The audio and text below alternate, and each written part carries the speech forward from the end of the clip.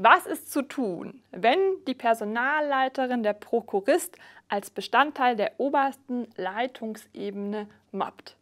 Diese und weitere spannende Nutzerfragen werden wir heute gemeinsam besprechen.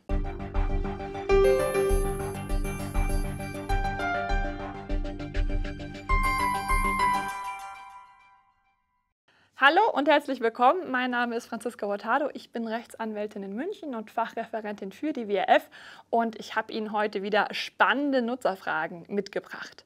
Wir beginnen mit der Frage von Pravoslavin Balkan. Er fragt, kann mir gekündigt werden, wenn ich einmal zur Arbeit nicht erschienen bin, weil ich nicht auf den Plan gesehen habe, dass ich eingetragen war. Ich bin schon seit über zwei Jahren da und war an dem Tag in einer anderen Stadt und konnte nicht zur Arbeit kommen. Und am Telefon meinten sie, wenn ich nicht komme, brauche ich gar nicht mehr zu kommen. Vielen Dank für diese Frage. Ja, hier stellt sich die Frage, ist es ein Fall der verhaltensbedingten Kündigung, ja oder nein? Zunächst erstmal für dich, lieber Pravoslavin, das ist keine wirksame Kündigung, weil sie nicht schriftlich erfolgt ist. Kündigungen müssen immer schriftlich erteilt werden. Das heißt, du musst wirklich ein, ein schriftliches Schreiben bekommen vom Arbeitgeber, das der Arbeitgeber auch unterschrieben hat. Erst dann ist wirklich dieses Formerfordernis der schriftlichen Kündigung gewahrt. Das ist erstmal das Erste. Also eine mündlich ausgesprochene Kündigung ist erstmal gar nicht wirksam. Das Zweite ist natürlich die Frage, ist das tatsächlich ähm, ein verhaltensbedingter Kündigungsgrund? Zunächst erstmal ja, wenn ich nicht zur Arbeit komme, verstoße ich gegen meine arbeitsvertraglichen Pflichten, zumindest so wie es in deinem Fall ist, wenn ich das nicht entschuldigen kann. Wenn ich krank bin, wenn ich im Urlaub bin, ist das natürlich was völlig anderes. Aber grundsätzlich, wenn ich im Schichtplan eingetragen bin, ich komme nicht zur Arbeit, ist das ein verhaltensbedingter Kündigungsgrund. Ob das in deinem Fall jetzt zutrifft, ist abzuwägen. Das kann so pauschal leider nicht beantwortet werden, da ähm, jeder, jede Kündigung tatsächlich immer eine Einzelfallentscheidung ist. Es wäre jetzt noch die Frage, wäre es nicht notwendig gewesen, dich erstmal abzumahnen? Ähm, wenn ja, das entsprechend so gesehen wird, dann wäre tatsächlich die Kündigung wegen der fehlenden Abmahnung nicht wirksam. Wichtig für dich, lieber Bravos Lavin. Also wirklich wichtig jetzt ähm, darauf zu achten, wenn da noch eine schriftliche Kündigung kommen sollte vom Arbeitgeber, achte bitte darauf, dass du innerhalb von drei Wochen nach Zugang der Kündigung Kündigungsschutzklage erheben musst. Ansonsten wird die Kündigung in jedem Fall wirksam. Und äh, das wäre natürlich, wenn du jetzt Zweifel dran hast, dass ein verhaltensbedingter Kündigungsgrund vorliegt oder beziehungsweise dass ähm, die Kündigung wirksam ist, auf jeden Fall noch äh, der Rat von uns, sich einen Rechtsanwalt zu rufen und Kündigungsschutzklage innerhalb von drei Wochen zu erheben. Dann überprüft das Gericht nochmal intensiv, ist denn diese Kündigung tatsächlich gerechtfertigt oder nicht. Äh, von hier aus ist es leider ein bisschen schwierig zu beurteilen, aber grundsätzlich liegt ein Kündigungsgrund äh, vor. Ist halt die Frage, ob die Kündigung immer noch angemessen ist oder nicht. Wir kommen zu unserer nächsten Frage und zwar von Rüdiger Hilrichs. Rüdiger fragt, der Beginn der regelmäßigen Verjährungsfrist setzt nach 199 Absatz 1 Nummer 2 BGB voraus, dass der Gläubiger Kenntnis von seinem Anspruch erlangt oder ohne grobe Fahrlässigkeit erlangen müsste. Wann hat ein Arbeitnehmer, der einmal pro Woche in Nachtarbeit, mehr als 48 Tage im Kalenderjahr, mehr als zwei Stunden zwischen 23 und 6 Uhr tätig ist, Kenntnis von seinem Anspruch auf einen Nachtarbeitszuschlag, wenn der Arbeitgeber dem Arbeitnehmer diesen Anspruch verschwiegen hat, dem Arbeitnehmer auch keinen Abdruck des Arbeitszeitgesetzes ausgehändigt und auch nicht auf die Einsichtnahme im Betrieb hingewiesen hat. Hat der Arbeitgeber gegen 16 Absatz 1 Arbeitszeitgesetz verstoßen? Ja, da sind unheimlich viele Dinge drin, die zusammenkommen, lieber Rüdiger. Vielen Dank für diese Frage. Zunächst erstmal fangen wir, ähm, nehmen wir das Ganze mal so ein bisschen durch, auseinander. Fangen wir mit dem Verstoß gegen das Arbeitszeitgesetzes an. Du hattest ja gesagt, Paragraph 16 Arbeitszeitgesetz, genau der schreibt vor, dass der Arbeitgeber das Arbeitszeitgesetz entsprechend ähm, auslegen muss im Betrieb oder zumindest den Arbeitnehmern ermöglichen muss, dass sie da Einsicht nehmen. Ganz klar, wenn der Arbeitgeber das nicht macht, ist das ein Verstoß gegen 16 Arbeitszeitgesetz. Allerdings ist die Folge ähm, einfach was einfach nur, ich sage mal in Anführungszeichen nur, eine Geldbuße. Denn der Verstoß gegen das Arbeitszeitgesetz ist eine Ordnungswidrigkeit des Arbeitgebers und entsprechend hat das keine Auswirkungen auf die Arbeitnehmer, sondern der Arbeitgeber bekommt dann entsprechend einfach nur eine Geldbuße auferlegt, die er dann zahlen muss, weil er gegen diese Verpflichtungen aus dem Arbeitszeitgesetz verstoßen hat. Was ist mit diesen Verjährungsfristen? Da hattest du ja auch noch nachgefragt. Grundsätzlich vielleicht nochmal auch für dich, auch ähm, Ansprüche auf Lohn, auf Gehalt von Arbeitnehmern verjähren innerhalb der regelmäßigen Verjährungsfrist. Das sind drei Jahre. Ähm, diese, Verjährungsbe diese Verjährungsfrist beginnt immer ähm, in dem Jahr, wo der Anspruch entstanden ist und dann immer zum Ende, zum Schluss des Jahres. Bei Arbeitnehmern sagt man dann grundsätzlich ähm, oder geht man grundsätzlich davon aus, dass die Verjährung immer dann oder der Anspruch immer dann entstanden ist, wenn die Arbeitsleistung erbracht wurde. Also ähm, in dem Monat, wo ich gearbeitet hat, in dem ist dann, sagt man, ähm, nach der herrschenden Meinung auch der Anspruch entstanden. Und dann beginnt zum Schluss des Jahres immer ähm, die Verjährungsfrist zu laufen und dann drei Jahre. Wie ist es mit dem Nachtzuschlag? An sich gibt es da keinen Unterschied. Auch der Nachtzuschlag ist ein Teil meines Lohns, meines Gehalts. Auch da greift dann entsprechend ganz normale dreijährige Verjährungsfrist nach 199 BGB, wie du ja auch so schön hier für uns zitiert hast.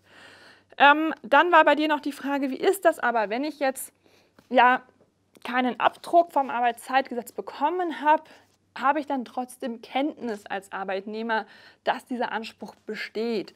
Und da gibt es jetzt diesen kleinen feinen Unterschied, dass einfach ähm, das BGB bei der Kenntnis auf die anspruchbegründenden Tatsachen abstellt. Das heißt, ähm, vielleicht mal an einem anderen Beispiel, ein bisschen plastischer äh, für dich ähm, dargestellt, wenn ich ähm, einen Unfall habe mit einem Auto, jemand anders fährt mir in mein Auto rein vielleicht, ähm, dann beginnt die Verjährungsfrist in dem Moment schon zu laufen, wo ich ja diesen Schaden sehe und wo ich auch weiß, wer diesen Schaden verursacht hat. Denn dann bestehen die anspruchsbegründenden Tatsachen. Und so ist es auch bei dem Nachtzuschlag. Wenn ich als Arbeitnehmer nachts arbeite, dann mache ich Nachtarbeit. Das sind die anspruchsbegründenden Tatsachen, die dann entstehen. Und dann beginnt, oder dann habe ich auch grundsätzlich Kenntnis ähm, von diesen Ansprüchen, die ich als Arbeitnehmer habe. Und dann beginnt auch am Schluss des Jahres die Verjährungsfrist zu laufen. Das ist unabhängig davon zu betrachten, wie ähm, ich ja, oder ob ich die ganze Situation, die Umstände rechtlich richtig bewerte. Und das wäre ja dein Fall, lieber Rüdiger, dass du sagst, du wusstest ja gar nicht, dass du einen Zuschlag hast, weil du ähm, das Arbeitszeitgesetz nicht einsehen konntest. Das wäre deine rechtliche Bewertung und darauf stellt die Kenntnis nach 199 BGB aber nicht ab. Es geht hier nur darum, dass ich als Arbeitnehmer weiß, dass ich einen Anspruch oder dass die Umstände ähm, die Umstände vorlagen, nach denen ich einen Anspruch auf Nachtzuschlag habe. Das lag bei dir vor. Deswegen würde ich jetzt aus meiner Perspektive davon ausgehen, dass die ganz normale Verjährungsfrist, äh, Verjährungsfrist greift, äh, auch ab dem Zeitpunkt, wo der Anspruch auf Nachtzuschlag entstanden ist, weil die anspruchsbegründenden Tatsachen einfach vorlagen. Ob du das rechtlich ähm, richtig beurteilt hast, richtig bewertet hast, ist für den 199 BGB ähm, leider völlig irrelevant. Darum kommt es nicht an. Da sagt einfach die Rechtsprechung, ähm, die Literatur sagt, okay, da muss ich halt als Arbeitnehmer ähm, mich, mir, mich dann entsprechend beraten lassen, ähm, wie das denn rechtlich zu bewerten ist, dass ich nachts arbeite.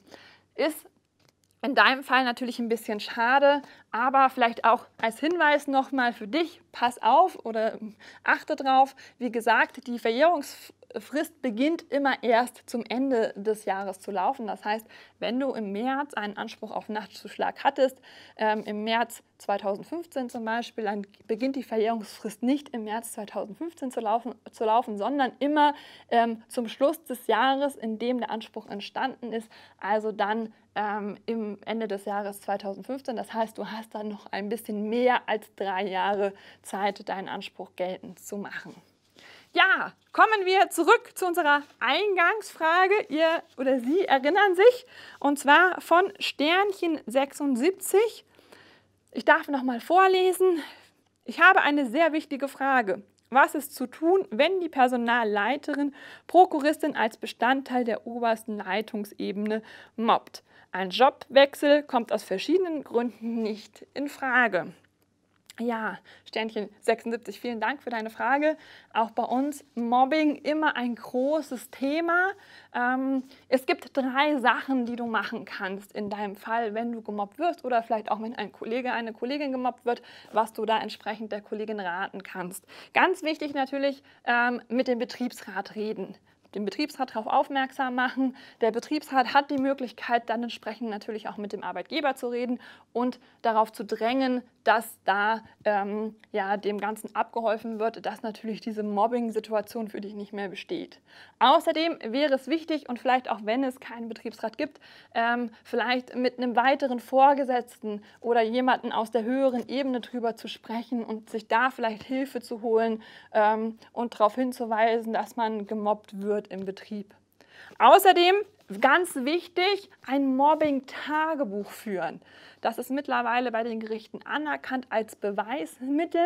Bitte dokumentiere regelmäßig, welche Vorfälle wann passieren, wann du gemobbt wirst, von wem, was passiert ist. Schreib das alles wirklich schriftlich auf in ein Tagebuch und dann kannst du das nachher tatsächlich vor Gericht auch äh, verwenden als Beweismittel, ähm, falls es wirklich, ja, falls du zum Beispiel eine Verletzung deiner Persönlichkeitsrechte dann ein einklagen möchtest.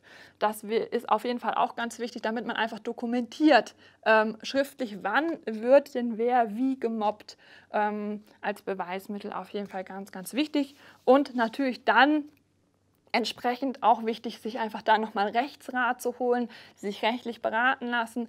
Ähm, unabhängig vom Führen dieses Mobbing-Tagebuchs ist natürlich dann auch nochmal wichtig, vielleicht auch mit diesem Mobbing-Tagebuch dann nochmal zu einem Rechtsanwalt zu gehen und sich da beraten lassen, was äh, ist denn die Möglichkeit, wie man vielleicht ähm, einen Unterlassungsanspruch gegen den Vorgesetzten durchsetzen könnte oder vielleicht auch Schadensersatzansprüche einklagen könnte, ähm, weil man wirklich da massiv in seinen Persönlichkeitsrechten verletzt wurde. Da das aber bitte dann mit dem einzelnen Rechtsanwalt besprechen. Das können wir von hier aus leider ähm, nicht so darlegen, weil es da auch wieder immer auf den Einzelfall ankommt. So, damit haben wir es für heute geschafft. Vielen Dank für Ihre Aufmerksamkeit. Bis zum nächsten Mal. Ihre Franziska Hurtado. Hat's dir gefallen? Super, dann sieh dir doch auch dieses Video an, das ganz speziell für dich ausgesucht wurde. Hier findest du ein Gratisangebot für dich als Betriebsrat. Und hier kannst du kostenlos unseren Kanal abonnieren. Wir freuen uns auf dich. Sei beim nächsten Mal wieder dabei.